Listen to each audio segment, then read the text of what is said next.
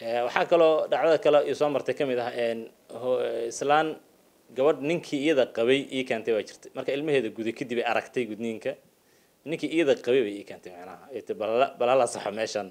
Haweeney ayaa wiilkeeda iyo aabbihiis isla geystay isbitaalka gurmud oo ku yaalla xaafadda weedow ee magaalada muqdisho si loo gudo. Arrintan ayaana dhacday inta lagu guda jiro bishan ramadaan.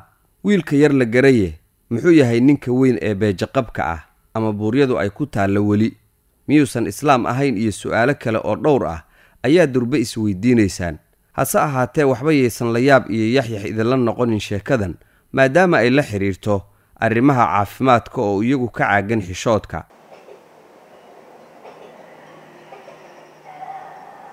Haddii dabcan aad arki jirtay cunug la gudayo oo oynaya haddii aad arki jirtay cunug la gudayo oo la qaqabanayo oo dhiig uu ka imaanayo iyo runtii xaalad argagax gelinaysa maskaxda ee dhallaankaas lagu samaynayo gudniinka dunidii waxay u guurtay casri.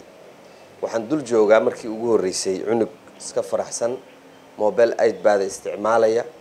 Dhakhaatiirtiina ay dabcan shaqadooda ay ka haysato iyagoo isticmaalaya hanaanka laysarka loo yaqaano oo dabcan xubintii taranka ee cunuga aan dhaawacayn waa arrin runtii aada cajiib u ah waxaan idinla soo wadaagi doonaa sheeko dhakhtar toddobaad gudahood aaladaas laysarka ku guday toddoba boqol oo cunug iyo sida ay ku suurta gashay.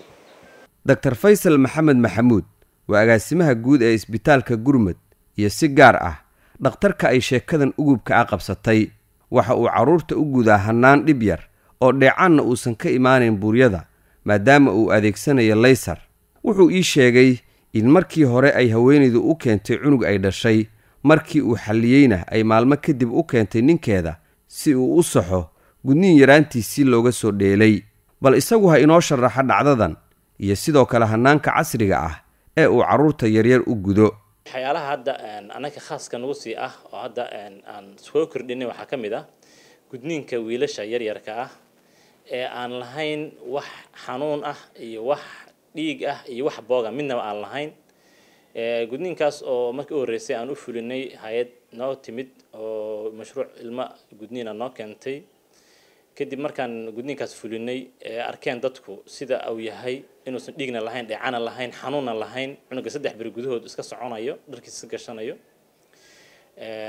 Ayaa waxaa dhacday hooyo wiilkeed ah oo siddeed iyo toban jira maalin ii keentay oo gudniinku ka khaldamay oo dib in loo gudo u baahan.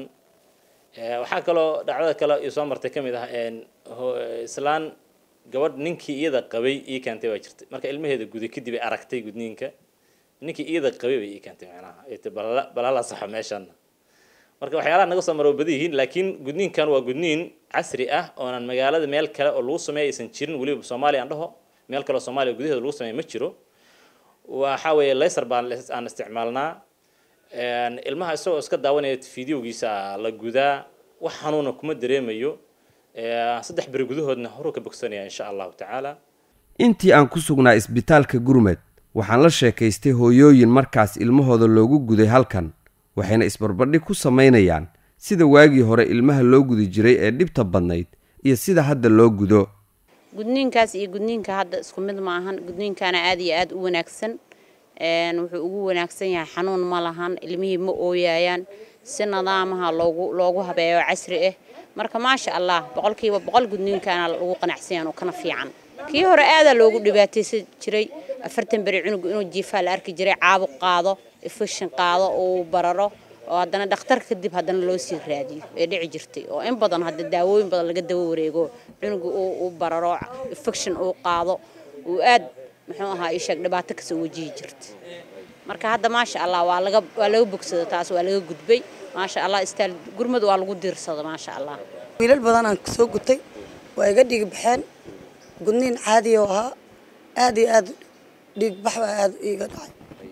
Haddana maasha allah kana laysar laysar maasha allah xanuunna mayse ku arag. Maasha allah wallah alxamdulilah doctor faysal maxamed maxamuud ayaa isaga laftigiisa ka hadlay sida waagii hore ilmaha loo gudi jiray oo runtii ciqaab ahayd iyo gudniinkan laysarka loo adeegsanayo. Dhinaca kale dhakhtarku waxa uu waalidiinta soomaaliyeed siiyey talooyin wax ku ool ah oo ay ka mid tahay in cunugga la gudo toddobaadka ugu horreeya dhalashadiisa iyo inta umusha lagula jiro.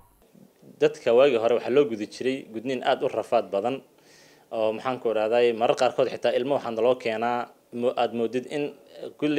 dhigi karo zaa'id laga dhigay oo maxaan ku idhahda dhiig badan uu ka baxayo faashad ay ku dhegan tahay oo faashadda ka fujinteeda ka xanuun badanba maxaan ku idhahdaa in dib loo gudo aba ka xanuun badan faashadda ayaa kasii xanuun badan waxaa kale oo jirta waa la toli jiray dadka markii hore rafaad badan baa lagu qabay waxaan ugu baaqayaa waalidiinta soomaaliyeed carruurta inay gudaan u baahan horta hadda magaalada waan ka warhayaa barnaamijkan gudniinkan leserka hadda magaaladan meel hadda aan ahayn isbitaal gurmud meel aan ahayn hadda laguma sameeyo.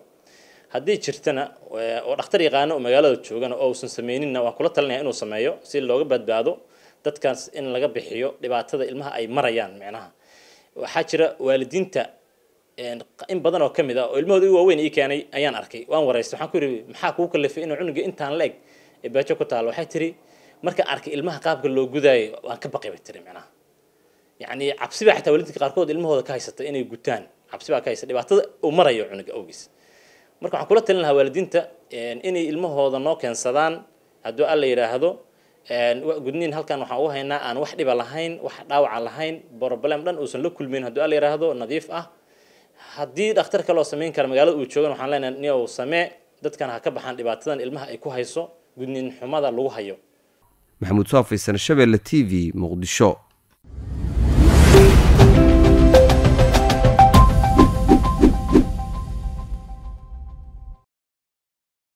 shirkadda beeko waa shirkadda ugu weyn ee bixisa adeega korontada soomaaliya. Beeko waxa ay koronto siisaa koonfurta soomaaliya sida banaadir jubbaland hirshabeelle iyo koonfur galbeed. Beeko waxa ay siisaa adeeg koronto oo dhammaystiran dhammaan toddobiiyo tobanka degme ee gobolka banaadir iyo goobaha ugu waaweyn magaalada muqdisho sida airboorka aadan cadde dekedda muqdisho iyo dhammaan safaaradaha iyo hay'adaha caalamiga ah